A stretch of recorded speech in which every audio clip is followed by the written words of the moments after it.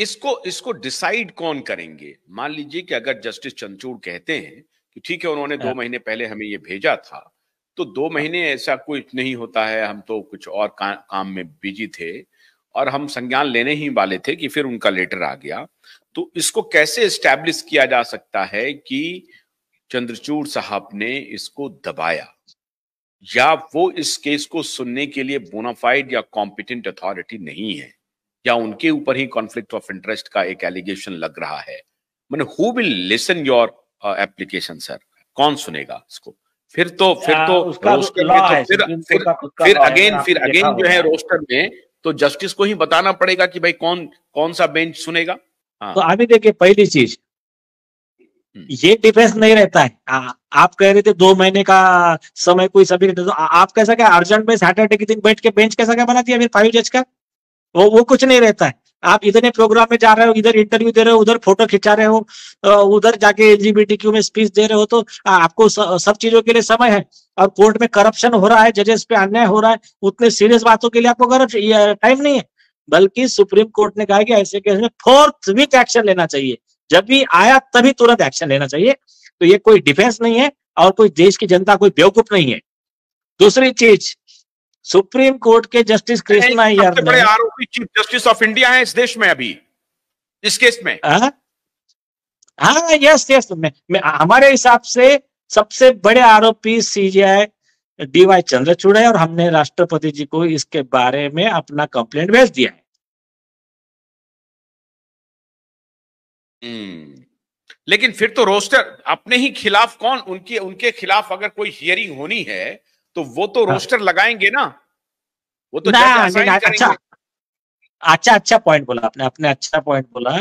इसके बारे में एक बहुत सही लॉ है ऑलरेडी सेटल्ड है कि जब कभी सीजीआई के खिलाफ आरोप रहते वो इंटरेस्टेड पार्टी होता है तो सेकंड सीनियर मोस्ट जज के सामने मैटर रखा जाता है। वो डिसाइड करता है कौन रोस्टर रहेगा कौन नहीं रहेगा। इसका लॉ आपको मैं रिसेंट दो केसेस बताऊ। पहली केस तो वो है अपने इसकी। हुआ था। यस गोगोई के समय में सेकंड सीनियर मोस्ट जज बोबड़े साहब के पास दिया गया था। और जब जस्टिस बोबड़े के खिलाफ में एडवोकेट प्रशांत भूषण ने आरोप लगाए थे तो उस समय सेकंड सीनियर मोस्ट जज जज एन वी रमन्ना को दिया गया था कि कौन से बेंच का, क्या डिसीज़न आप ही लीजिए करके तो लॉ है उसका ऑलरेडी तो मतलब वो प्रैक्टिस है उसकी। नहीं तो आप नीलेष जी, ये तो लगभग स्टैब्लिश हो रहा है कि जस्टिस सोमेन का कोई ना कोई तो ऐसा लगता है कि अगर जस्टिस चंद्रचूड़, जो हमारे मुख्य न्यायाधीश हैं, आदरणीय मुख्य न्यायाधीश हैं, अगर वो दो महीने तक इसमें बैठे रहे, उसके अलावा भी एक ग्रॉस इनजस्टिस है कि जिस जज का ट्रांसफ़र हो गया है, वो कैसे वहाँ पर बना हुआ है? ये तो पहले हियरिंग ये होनी चाहिए। अभी इस मुद्दे की तो हियरिंग होगी। सबसे पहले ये बात है कि उनकी वो बने कैसे हुए हैं, उसका क्या कोई आधार है? आपके पास कोई साक्ष्य है? कोई आधार का कि भाई इस वजह से ये इनका ट्रांसफ़र नहीं हुआ है? नहीं नहीं, मेरे पास ऐसा कोई आधार नहीं है कि किस वजह से वहाँ रुके हुए हैं। मैं जस्ट ऑर्डर में जो लिखा है उसके बारे में बोल रहा हूँ और सुप्रीम कोर्ट के वेबसाइट पे भी कॉलेज में ऐसा कोई रीजन मैंने देखा नहीं है कि जिसकी वजह से उनका ट्रांसफ़र रोका हुआ है या जो भी कुछ है। लेकिन मैं आपको शॉर्ट में बताता हूँ, देखिए।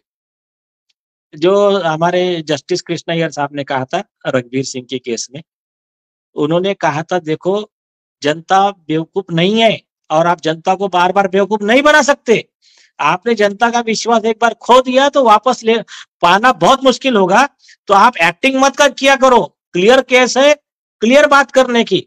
अगर इसमें क्लियर है या ऐसा ऐसा हुआ है सीबीआई इन्वेस्टिगेशन दो ना देखो जजेस नॉर्मली क्या करते हैं मालूम है ऐसे मामले में? मेन विषय बाजू में रखने का, दूसरे विषय पे बात करने की। अरे, लेकिन जस्ट मतलब कैसा करेंगे बताता हूँ। अरे, जस्टिस गंगोपाध्याय जी ने ऐसा ओपन नहीं बोलना चाहिए था। क्यों नहीं बोलना चाहिए था? आपको कंप्लेंट कर दिया, आप कुछ एक्शन नहीं ले रहे तो बोलेंगे नहीं तो क्या? बल्कि इनको अप्रिशिएट करना चाहिए, ऐसे जजेस को। उन्होंने अपने विनम्रता से पूरा रिप्रोड्यूस किया और कहा कि सीजीआई इस निर्णय ले ले। बल्कि उन्होंने तो ये लिखना चाहिए था कि इस सब के लिए सीजीआई चंद्रचूड़ जिम्मेदार है। सीबीआई इसका भी इन्वेस्टिगेशन करे। ठीक है एक्चुअली उन्होंने ऑर्डर करना चाहिए था लेकिन उन्होंने थोड़ा सा आ, मतलब रिस्पेक्ट रखा बोलो या फिर थोड़ा सा डर गए होंगे कि चलो कॉलेज में वो बैठा है मुझे बाद में तकलीफ़ देगा। इस कारण से वो बेचारे बोल नहीं पाए ऐसा हमको लगता है।